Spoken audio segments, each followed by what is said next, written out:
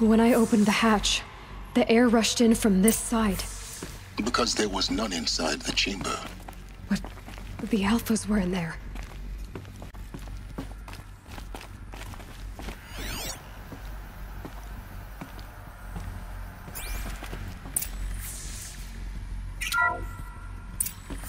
I'm locked out of core control.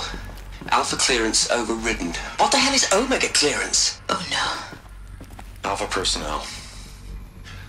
Sorry to alarm you, but I need you to listen, okay? To what I'm about to say. This isn't easy.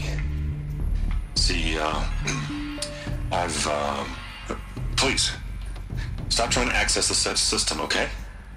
See, see, what this is about is, um, I said stop trying to access the goddamn system. What I'm trying to say is I can't stop thinking about the ones who come after us. Those innocents. Those blameless men and, and, and, and women. We're gonna give them knowledge? Like it's a gift? Ted, Ted. We've talked about this before. Apollo has 3,000 plus failsafe conditions. It's not a gift, it's a disease. They're the cure, and we're gonna give them the disease. Our disease? No, we can't. And it's not too late. If we're willing to sacrifice. It doesn't need to be like this. It already is, Samina. I did it three minutes ago.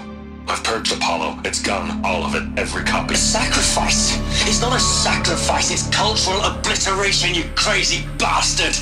Millennia of culture! I'm sorry. Really, I am. But sometimes, to protect innocence, innocents have to die. Emergency alert.